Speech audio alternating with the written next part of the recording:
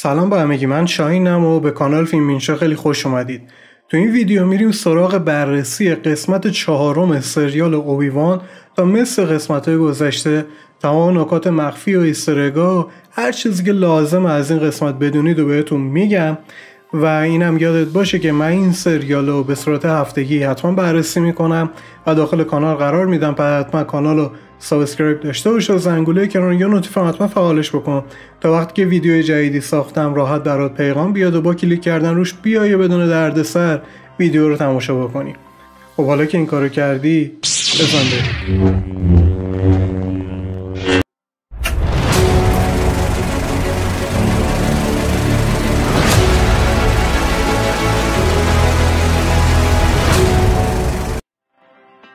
خب همه ابتدای ویدیو بریم سراغ همون قسمت قبلی یادتون باشه. تو اون پناهگاهی که اوبیوان رفتش روی دیوار چند تا اسم بود که یکیش تو ویدیو قبلی بهتون گفتم. حالا می‌خوام اینجا دو نفر دیگه هم بهتون بگم که یکی از اونا ریگاندو مارینه و اون یکی هم والنه که خب این اسم رو اون دیوار بود و من یه مقدار دقت کردم اسم رو پیدا کردم براتون آوردم.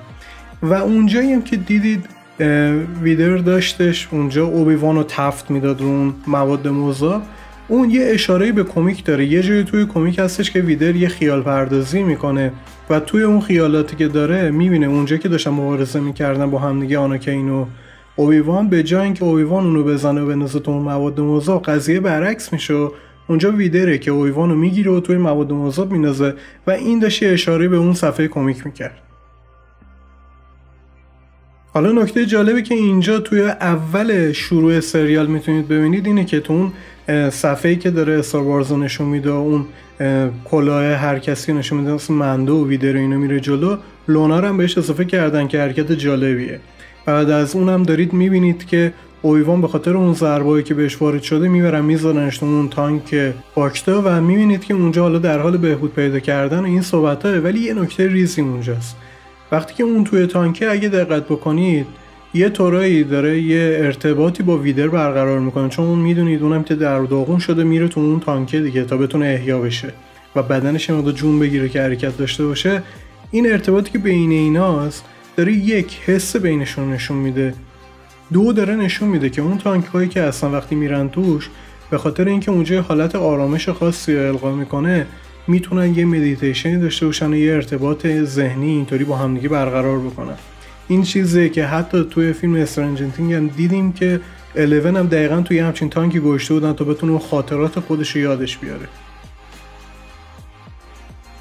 خب این قسمت جاییه که تمرکز اصلی روی نجات دادن لیاس و اگه تو اون بازجویی هم که ریوا ازش داره دقت کنید اون متوجه وجود نیرو توی بدن اون شده و به خاطر همین داره سعی می‌کنه که هر جور شده یه سری اعترافاتی ازش بگیره و حتی بلای بدتر هم سرش بیاره.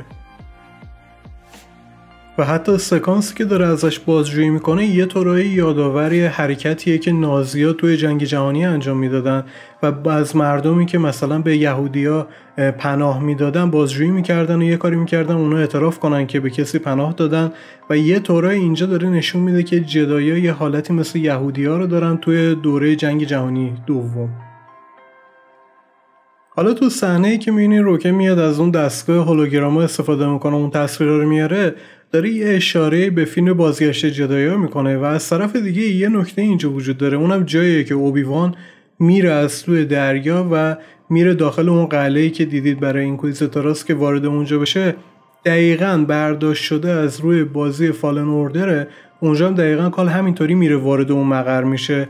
و یه نکته دیگه که اینجا وجود داره اینه که تو این سریال خیلی از اون بازی الهامات زیادی گرفتن و حتی یه سری شایعاتی وجود داره که میگن احتمال داره حتی توی قسمت آخر یه جایی باشه که یه اشاره به کار شده باشه و حتی شاید اونو ببینیمش یا شاید براش یه سریال جدایی در نظر بگیرن تا بیان اونو به صورت سینمایی معرفی بکنن چون می‌دونیم اون کاراکتری که برای بازیشه خب کاراکتر اصلیه که داره صداشو در میره حتی چهرهشو داره بازیگر رو دیدینش و میشناسینش و حتی نقش جوکر هم توی سریال گاتام هم داشتش.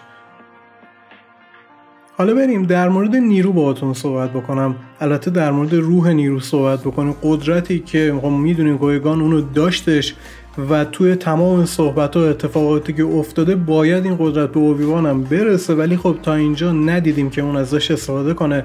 حتی یودا در مورد این صحبت کرده بود که کویگان این قدرت رو یه طوری منتقل کرده به اوبیوان تا بتونه اونم ازش استفاده بکنه. ولی تا الان این اتفاق نیفتاده و یکی از دلایلی که نتونسته تا الان از این قدرت استفاده کنه اینه که ذهن آشفته ای داره و یه طوری خودش رو گناهکار می‌دونه برای اتفاقی که برای آنکین افتاده.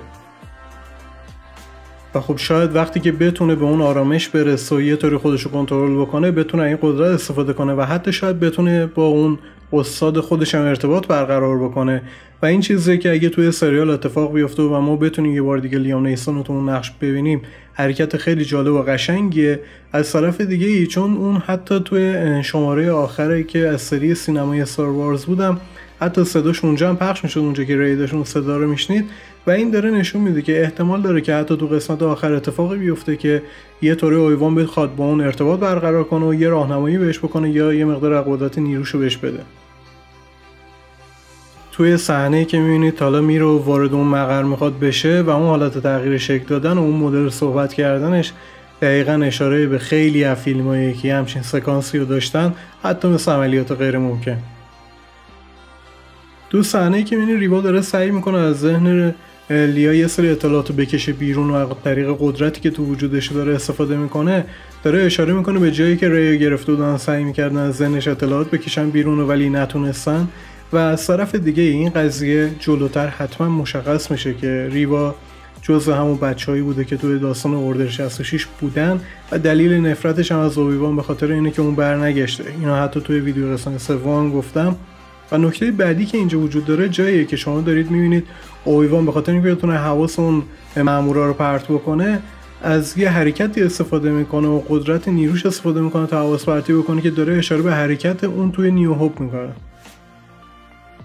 حالا هارولد نویسنده فیلم در مورد اینکه Grand Inquisitor زنده است یا نه حرفی نزده ولی از توی قسمت اول تا الان دارم بهتون میگم که اون زنده است و برمیگرده و می‌تونید حتما اینو جلوتر ببینیدش. حالا جایی که دارید می‌بینید لیا رو دارن می‌برن وصل کنن به اون دستگاه تا ازش اعتراف بگیرن و یه حالت شکنجه داره اون صندلی و اون تختی که هستش حالا می‌خوان روش ببندنش اینو بارها توی فیلم های استار دیدید شما. و از طرف دیگه جایی که می‌بینید اوبیوان وارد اون ورودی در میشه که چند تا محفظه و ایناست که یه سری زندانی کردن دور و یه دیالوگی استفاده می‌کنه و میگه اینجا شبیه مقبره است. دقیقا داره اشاره می‌کنه به فیلم ارباب حلقه ها و خب اونجا خیلی آدمای مختلفی هستن و که اونجا گیر افتادن. و یه نکته که در موردشون بگم یکی از اونها اسمش تاراس که توی کومیکا و توی اطلاعاتی که در موردش هست اون یه طورایی به عنوان یه باسپورس برای حل جنایت های مختلف توی دنیا استاروارز ازش یاد میشه که می‌تونیم تصویر اونو اینجا ببینیم.